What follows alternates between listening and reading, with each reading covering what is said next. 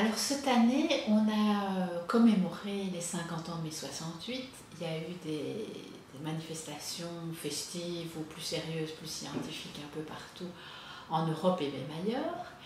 Et ces derniers mois, il y a un autre type de commémoration et surtout un autre type de discours scientifique qui est apparu sur une mémoire souvent oubliée, qui est la mémoire des catholiques euh, de mai 68, avec une question, est-ce qu'il y un mai 68, est-ce qu'il y a eu un mai 68 des catholiques Alors la question est vraiment intéressante parce qu'on l'oublie, et c'est un oubli souvent de l'histoire, mais les catholiques ont participé à mai 68 et on pense même souvent, enfin c'est ce qui est dit de plus en plus, qu'ils ont été agis comme ils ont agi. C'est l'historien Denis Pelletier qui, utilise cette formule, qu'ils ont été agis et qu'ils sont agis par les événements de mai 68. Ça veut dire quoi? Ça veut dire que on a tendance à l'oublier, mais avant 68, il y a eu un événement important pour le monde catholique qui est Vatican II de 1962 à 1965. On ne va pas revenir sur l'histoire de Vatican II, mais retenons une question importante, enfin une question importante posée lors de, cet énorme concile international, c'est que faut-il à l'Église pour qu'elle puisse entrer en modernité? Après Vatican II, tout le monde catholique va se poser cette question-là. Que faut-il mettre en place pour entrer en modernité? Que faire pour l'Église pour ne pas être complètement sortie de, la société profane et de la modernité alors pour répondre à cette question, les catholiques vont mettre en place une série d'initiatives qui touchent tout le champ social, c'est-à-dire le politique, euh, les communautés religieuses, les ordres religieux, l'éducation, euh, l'enseignement, l'université, le savoir et les sciences. Ils vont intervenir dans, toutes ces, dans tous ces domaines et se poser la question que faut-il mettre en place pour que dans ces domaines si variés, le catholicisme se modernise? Il va s'en suivre une terrible remise en question de tous les mécanismes euh, de, la hiérarchie, euh, de, de l'autorité, de, de tout le système catholique. Et cette remise en question profonde, qui touche, je le rappelle parce que c'est important, tous les domaines du catholicisme, va avoir une influence énorme sur la société. C'est bien même qu'en 68, quand les événements arrivent, en fait, les catholiques ont déjà mis en place des tas de, processus pour remettre en question les, structures, pour remettre en question les systèmes et le système politique en général. C'est pourquoi on dit que les catholiques ont été, ont été agis, mais aussi agissent dans mai 68, parce qu'en 68, ils ont eux aussi participé à ce grand, de mouvement de remise en question des structures, de l'autorité, euh, ce gros mouvement qu'on va appeler par la suite mouvement de contestation, parce qu'ils ne vont pas forcément faire de révolution, mais ils vont mettre en place une série d'initiatives pour contester l'ordre établi. Alors, de ce fait-là, euh, un historien euh, allemand parle de deux, types d'esprit, je vais expliquer tout de suite ce que c'est, qui, qui, construirait une forme de continuité entre Vatican II et euh, mai 68. Il a écrit deux livres qui s'appellent L'Esprit mai 68 et l'esprit de Vatican II, enfin c'est en anglais, Spirit of 68 et Spirit of euh, Vatican II. Et ces deux ouvrages se répondent. Dans, un premier temps, il avait écrit un esprit de mai 68, où il, il exposait euh, dans ce livre euh, tous les effets de mai 68, tous les effets du mouvement de contestation en Europe, mais aussi aux États-Unis. Il écrit cet ouvrage. Et puis quelques années plus tard, il écrit un second ouvrage qui s'appelle euh, donc L'Esprit de Vatican II, où il explique voilà, j'ai parlé de tous les mouvements de contestation et j'ai oublié la place du religieux dans tous ces mouvements de contestation.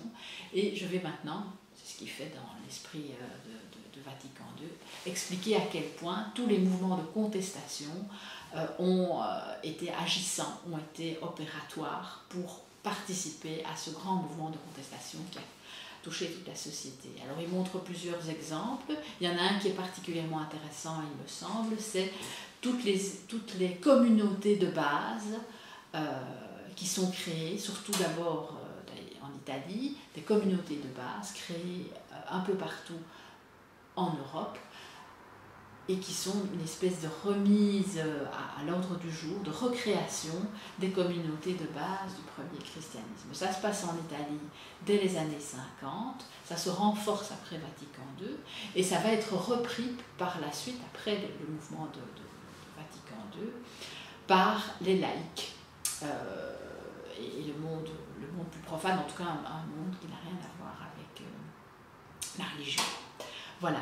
Alors, euh, une, question aussi qui peut être intéressante dans ce domaine, c'est la Belgique. La Belgique est un bel exemple, un, bel, un beau laboratoire pour observer tout ça. Si on regarde les, grands anniversaires, les grandes commémorations de mai 68, on voit que ben, les, catholiques belges ne, prennent pas part à ces, événements, ne, ne, participent pas à ce mouvement.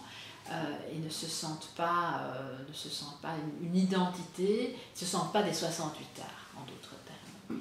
Alors c'est intéressant parce qu'en Belgique comme ailleurs, comme dans les autres pays euh, européens et américains, les, catholiques ont beaucoup fait dans ces mouvements de contestation et d'une certaine manière, les catholiques belges ont, ont été les premiers, ont fait, ont fait mai 68 avant d'autres pays puisque dès les années 60, dès, 1966, il y a un grand mouvement de contestation à Louvain contre, euh, contre, la, contre les Wallons, hein, c'est ce qu'on appelle l'affaire de Louvain avec le Wallenbeuten.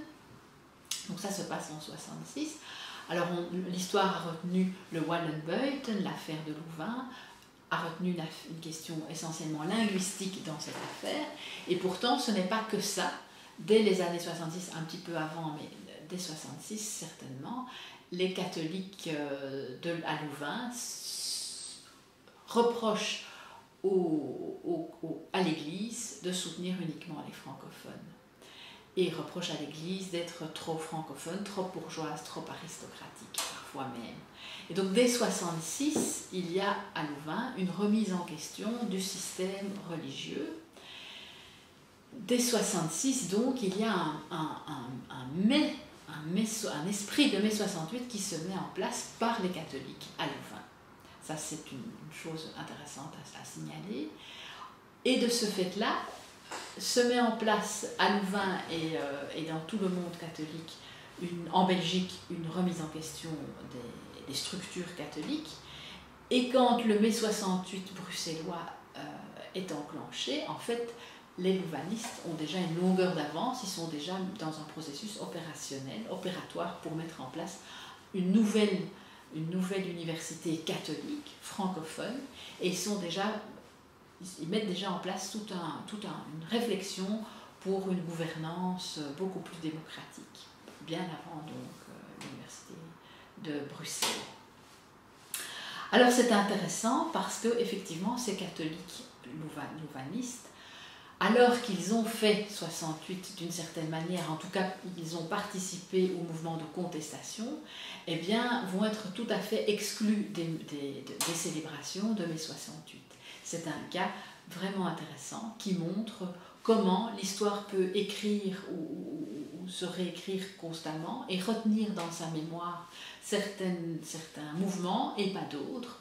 Et voilà pourquoi le mai 68 belge semble être un, mouvement essentiellement laïque, un mouvement en tout cas qui se revendique de la laïcité et qui pourtant, quand on retourne dans l'histoire, était également fait par les catholiques.